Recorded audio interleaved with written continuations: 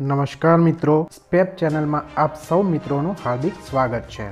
મિત્રો, આજે એકવીસ ડિસેમ્બર અને મંગળવાર.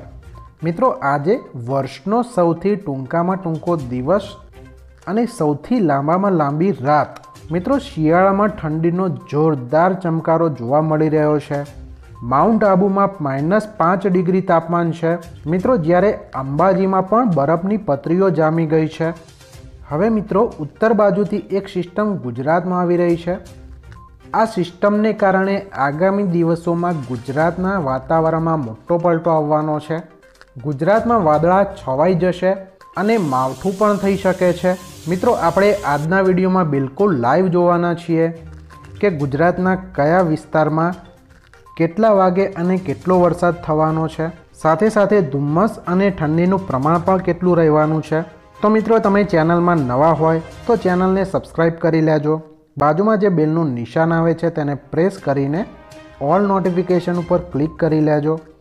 અને તમારા મિત્રો સુધી આ વિડીયોને જરૂરથી શેર કરજો. જેથી તે પણ હવામાનની માહિતી બિલકુલ લાઈવ તેમના ફોનમાં જોઈ શકે.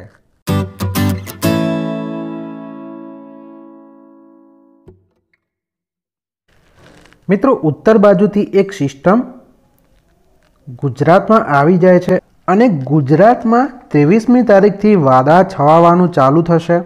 મિત્રો, ત્રેવીસમી તારીખે સવારે આઠ વાગે ચોટીલા, સુરેન્દ્રનગર, કુડા, મોરબી, રાજકોટ, જામનગર, ગાંધીધામ, કચ્છના બાડલી, નલિયા, ખાવડા, મિત્રો, પોરબંદર, આ બધા વિસ્તારોમાં મિત્રો વાદળા છવાઈ જશે તથા માવઠું પણ થઈ શકે છે. ચોવીસમી તારીખે સવારે અગિયાર વાગે જુનાગઢ, થાન, જામનગર, ગાંધીધામ, દ્વારકા, નલિયા, ખાવડા, પાલનપુર. આ બધા વિસ્તારોમાં વાદળા છવાયેલા રહેશે અને મિત્રો ભેજનું પ્રમાણ પણ ખૂબ જ વધારે છે. તમે અહીંયા જોઈ શકો છો કે ભેજનું પ્રમાણ ત્રાણું ટકા છે. એટલે કે આ બધા વિસ્તારોમાં ધુમ્મસનું પ્રમાણ પણ વધી જવાનું છે અને માવઠું પણ થઈ શકે છે. મિત્રો, ગુજરાતમાં આ બધા વાદળા બીજી જાન્યુઆરી સુધી રહેવાના છે. એટલે કે મિત્રો, ગુજરાતમાં બીજી તારીખ સુધી માવઠું પણ થઈ શકે છે. મિત્રો, એકવીસમી ડિસેમ્બર અને સવારે નવ વાગે ઉનામાં અઠ્યાવીસ ડિગ્રી તાપમાન છે. ભાવનગરમાં ત્રેવીસ ડિગ્રી, વડોદરામાં પચીસ, સુરતમાં સત્યાવીસ, જામનગરમાં સત્યાવીસ થાનમાં ચોવીસ, અમદાવાદમાં ચોવીસ, જામનગરમાં ત્રેવીસ, ગાંધીધામમાં બાવીસ, નલિયામાં ચોવીસ, દ્વારકામાં ત્રેવીસ, મહેસાણામાં બાવીસ, પાલનપુરમાં ત્રેવીસ અને કચ્છના નલિયામાં ચોવીસ ડિગ્રી તાપમાન છે. જેમ જેમ મિત્રો દિવસ વધતો જશે, તેમ તેમ તાપમાન વધતું જાય છે. પણ આ તાપમાનમાં બેથી ત્રણ ડિગ્રી જેટલો વધારો આવશે.